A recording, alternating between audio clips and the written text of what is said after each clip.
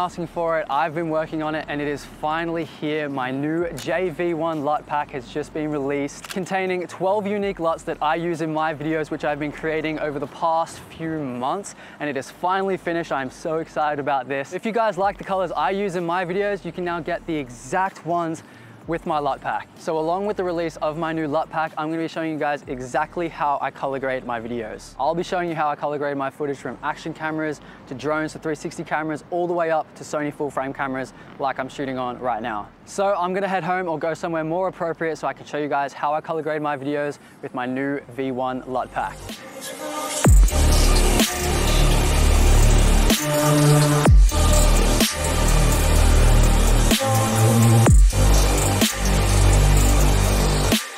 We got the laptop here, a nice editing space as you can see, and I'm gonna show you guys how I color grade my footage from start to finish, step by step. It's very simple, less is more, and paired with my new JV1 LUT pack, it makes it so much quicker and also provides a lot of inspiration. I found when learning how to color grade, one, it takes a very long time and a lot of practice, but as a beginner, when I used other creators' LUTs, it really inspired me on how to actually get cinematic colors. So let's actually get into this and I'll show you guys how I color grade my videos step by step. So the way I'm gonna show you guys how I color grade my videos is to go from easiest to the hardest hardest. Easiest being action camera footage like GoPro Ace Pro, to phone footage, to drone footage, then all the way up to like this camera I am shooting on right now, the Sony a7 IV, which can shoot log. But before we get into all that, we'll start easy and we'll get there eventually. Kind of looks dark. I'm gonna brighten it a little bit. Anyway, as I just made it brighter, the sun just came out. Fantastic, who cares? I can fix that in color grading.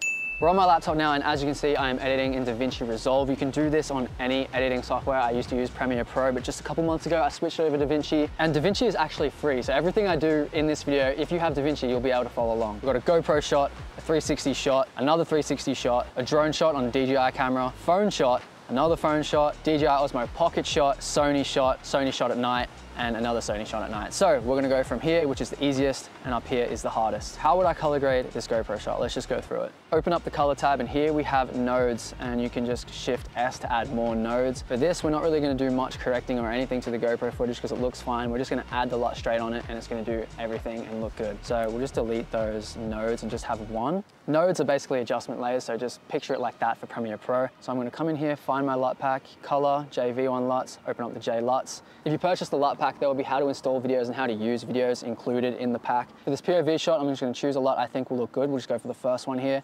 Boom, as you can see, bang. That's literally all I do to my POV action camera shots. I just add one of my LUTs and it's good to go. As you see, the before and after there looks good, looks clean. Change to a different one, we'll grab synchronicity here. That looks cool as well. And if it's too much, we can come here to the key tab and we can turn the key output gain down to 0.5, which would be about 50%. That looks a bit better. At 100%, it was a bit too harsh. So that's how you turn it down in DaVinci Resolve. In Premiere Pro, it's like an intensity slider. To turn that down, you never really want to have it at 100%. So we'll go into the next shot here here, which is the Insta360 shot. As you can see, getting the one-hander on the Sur-Ron.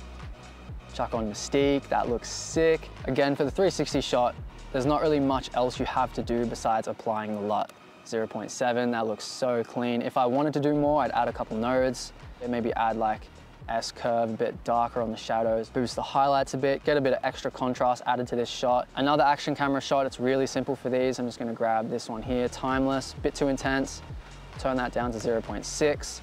And as you can see there, that looks sick. That looks so good. I, I tend to abuse the timeless LUT. It's one of my favorite that I've made. Next shot we have here is getting a little bit more difficult to color grade. So this is shot on the Avata, which is DJI's FPV drone. I have shot in the color picture profile D-Cinelike. Picture profile on these shots is just normal, standard. This is D-Cinelike, so it's a bit flatter. It's not true log, which we'll talk about later on. It's not full on log, it's just a bit flatter. So what I'm gonna do is add two nodes here, and remember, this is just adjustment layers or the Lumetri color tab in Premiere Pro. In this second node, I'm going to add a S-curve, which is basically gonna bring contrast into the shot and make it look not flat. The shot is also looking a bit too green. The white balance must have been set off. As you can see down here in the vector scopes, the white balance is off. I'm gonna use the offset section right here to change the white balance. You can also use the temperature and tint, but I prefer using the offset. So we're gonna drag it down a little bit so the white is in the center looks a little bit better. We're just gonna do a rough grade right here. And this is where the magic happens with the LUT. You add the LUT on the last node. We're gonna go with timeless again. It's my favorite. As you can see, it looks so sick. We'll turn the output gain down again to 0.7.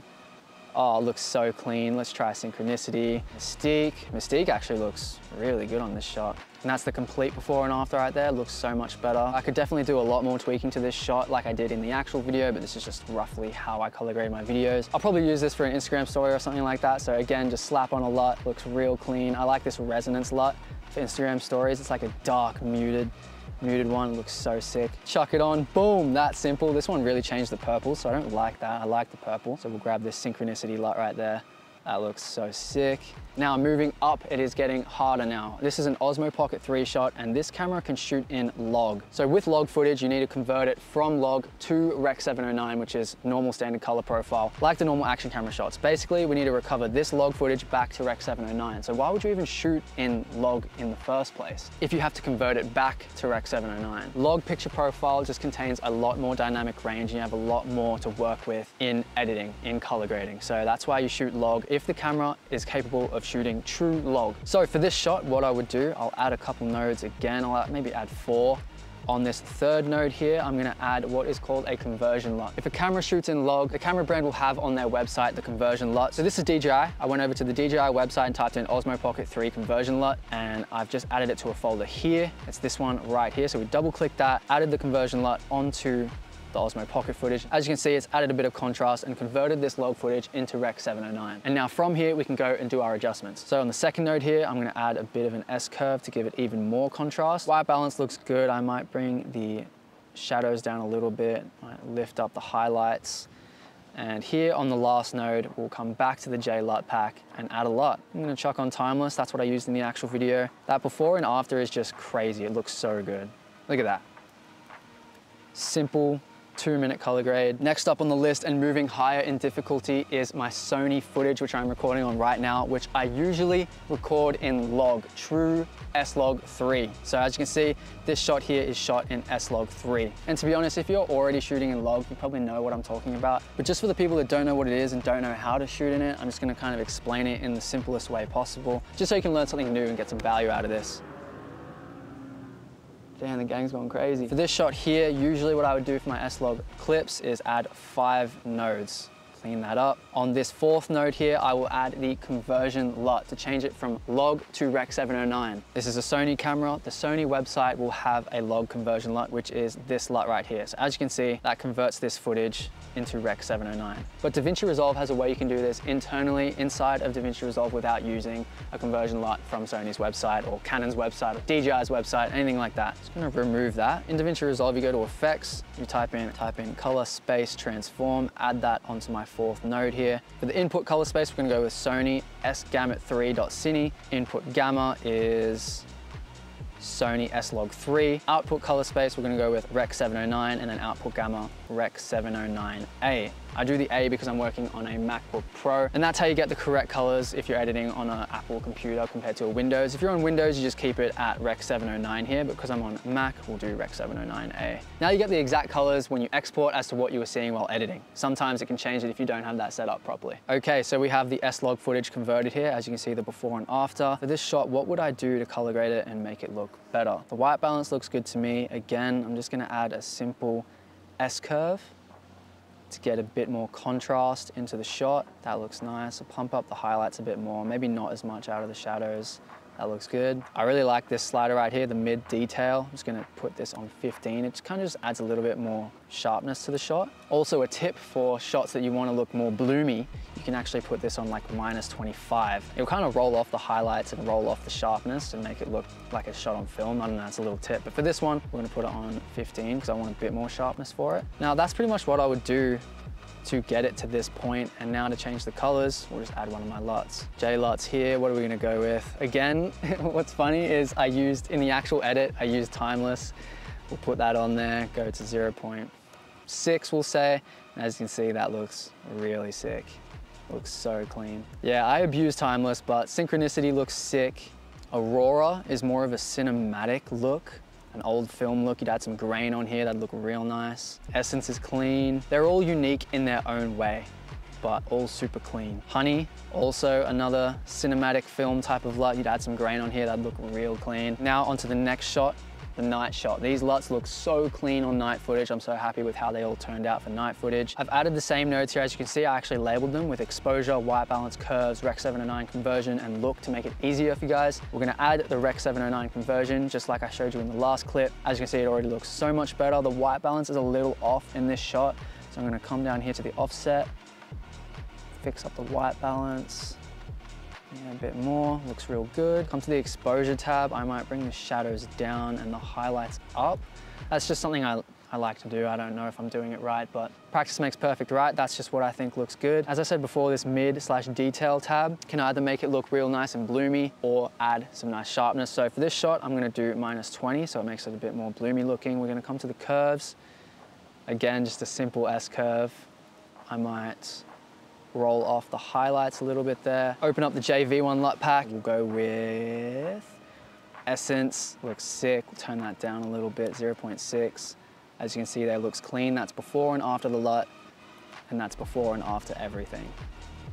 Looks so nice. Resonance, it's basically Essence, but a bit deeper. Verdant looks cool. Synchronicity is actually the one I used in the official edit on my YouTube channel and Instagram. So if you wanted to know that, that now you do. And now we have one more shot here. It's another S-Log shot at nighttime. We've got the same nodes set up, Rec 709 conversion, already looking so much better.